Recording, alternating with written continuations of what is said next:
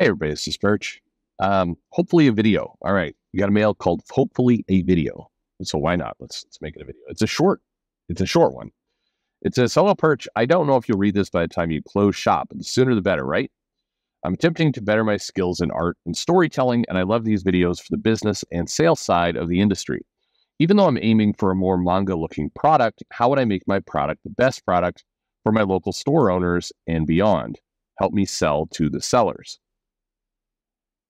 That's it. Um, so, you know, I've, I've given a lot of advice on this topic in the past. And I think, you know, if I was to distill up to kind of the, the three big things to remember, and then there's a lot of details that may or may not work for you, but the three big things are first of all, you know, whatever product you're making has to feel natural to you. Meaning, you know, if you're going to have a really hard time selling it to the sellers if you don't believe in your product or it doesn't match you or it's just you're you're trying to make something that you think other people might want um, you need to make what you want. Now it, assuming you're the owner of all this. Now if you're by the way if you're contracted by a bigger company you know then they get to decide what they want and then you know you figure out how you best fill that and make your name in the process. But when it's your product it's your comic it's your thing that you're putting out um, it sounds like really simple advice, but that's the probably the biggest thing that I see trip people up is that they they will you know create a, a comic or they'll have an idea and then they're like oh you know they'll they'll they'll start a youtube channel. And then they'll discover that you know you get more youtube videos uh, views when you bitch about things.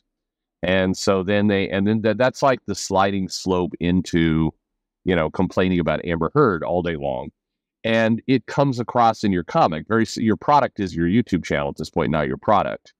And if you try and then you know you have a really good idea for a story, but you're trying to warp it to kind of appeal to this this new audience that you have. Well, well, number one, the audience that just comes and consumes your your YouTube channel is quite often not the same people who are going to show up and buy your book.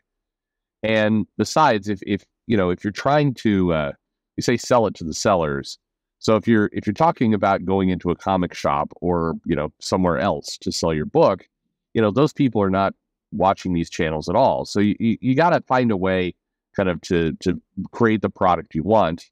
And this I guess gets to the second piece of advice is you got to find a way to tether your end buyer to your seller. And so if you you know if you're selling yourself, by the way, if you're going and you're crowdfunding, you're putting your book up online or you know something like that, then you can more directly talk to your audience. That, in theory, is easier. Although, you know, that's where you discover that your audience is pretty fickle. A lot of crowdfunding campaigns are, are you know, it's, it's, I, the bottom has dropped out is as much of an exaggeration as, you know, Marvel is on fire and about to go over a cliff. Um, neither is really true. Marvel still tends to crank out comics at, you know, a declining rate, not volume, but, but money and crowdfunding books have you know, are making less than they did two years ago, substantially. So both both things are true, and the you know the the key the takeaway from that is, hey, people are uh, less interested in comics. Certainly, as a speculator, I saw uh, you know not to go too wide here, but I saw an article in Forbes. It's probably worth a a, a video by itself, and it ta- it's talking about how the MCU and Kevin Feige, who literally walked on water and could do no wrong for a long period of time. The article was he's recreating the 90s comic bust um, at an accelerated pace. And the argument was, you know, in the 90s, they went for kind of cheap gimmicks. They too quickly rushed out new characters who had no no meaning. Uh, there was it was it was really banking on the you can't miss this comic because it'll be worth something. And they're comparing it to the MCU of you know, you can't miss this movie or you're going to miss a big part of the story. Well, the reality is you can miss, you can miss these movies. It'll be okay. Uh, it, you're not, you're not missing out on a moment. Uh, but anyway, um, the idea of selling it to the sellers, what you have to do is, first of all, understand who your target audience is. Who, who's going to buy your book? Uh, what are they into? What do they like? Ideally, and this is one of the, you know, you talk to any retailers, one of the things that works the best with them, which is somewhat puzzling why comic publishers don't do it either, is basically map your customer and the thing they like to your book. Saying, you know, if, if you have a customer that likes vampires, likes horror, likes uh, you know, kind of more suspenseful books, then these are the four books for you. These are the ones that that customer is going I think that, you know, that it's it's it's simple to do and if you go in you're selling again through a seller, um, so you're you're basically selling your comics to somebody who's going to sell the comics to somebody else, then you need to basically help them kind of lead the way to where they're going to get their money and where their audience is going to be. You know, your your audience is going to, you know, like this book if they like traditional 1980s superhero comics. That's that's kind of that's a key part of how the whole thing works. So I, I think that's the, you know, kind of second piece of advice. And the third piece of advice is um, make sure you have a product in hand before you push too hard at the seller. With crowdfunding books, you can you can somewhat crowdfund on an idea if your idea is good enough and if you have enough of a mailing list and, and people backed up. But if you're selling through a B2B to C kind of market, if you're selling to a seller, you've got to have a substantial part of your book done or completely done in order to package it because retailers are i'd say dimly aware in some cases very aware but but in a lot of cases dimly aware of crowdfunding. And in particular they've heard the complaints from their customers of i backed this for $20 and i never got it or it took two years to deliver or what have you. And they will not nobody's going to take a flyer particularly in this economy and the way the comic stores are at. Nobody is going to go well, this seems like a nice guy. I like the cut of his jib, and this story idea sounds interesting. I'll, I'll, I'll certainly reserve a couple copy. I mean, you may have a comic store retailer if you want to go in and kind of test your idea.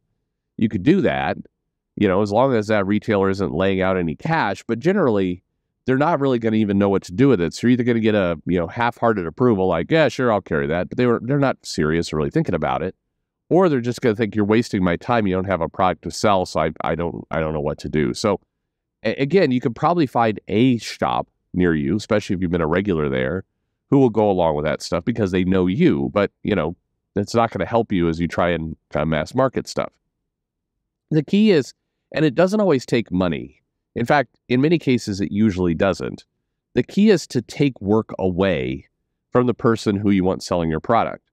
You know, make make the product, you know, easy to understand. Give it a solicitation text print up a uh, you know simple flyer that they could tuck into a, a pull box customer. Uh, you know, so, as they're picking up their comics, like, hey, here's something a you know an indie artist is trying to do. If you have any interest, you know, put click you know go to this website, click this QR code. It will map back to my store. I, I know there's you can get really fancy about it, but make it so the retailer doesn't have to think much, can pick up your book, can put it on the shelf, and can move along. And definitely, uh, you know, the other thing you want to do is, uh, you know, angrily tweet about it on a constant basis. You're going to want, you're publishing your book. You're going to want to go to Twitter and you're going to want to pick fights with as many people as humanly possible. Feel free to liberally use the word cuck and Nazi on a regular basis. People love that, and they definitely will uh, will go in and buy, and buy your books if if you uh, if you go that direction. Incel is another good one too. Um, and uh, industry shill. That's a, that's another. These are all good terms uh, to use when you're trying to sell your book and and get that uh, get that buyer interested. You, you want to be as as absolutely much as much of an asshole as humanly possible. It's uh it's very appealing. Don't let anybody tell you otherwise. Anyway, um, good luck with your book. I mean, again, there's there's a million little details, and I've covered most of them on this channel at one time or another. But the, the key here is just you know think you are building a product. So think of your product, you know, like you're you you're you're you're putting something on the shelf. How would you want it put on the shelf? How would you want it done? And what would you want it uh, said and marketed like? Um, hand as much that stuff over, and you'll definitely have you know good success. Anyway, good luck to you. We're all rooting for you, and thanks for listening.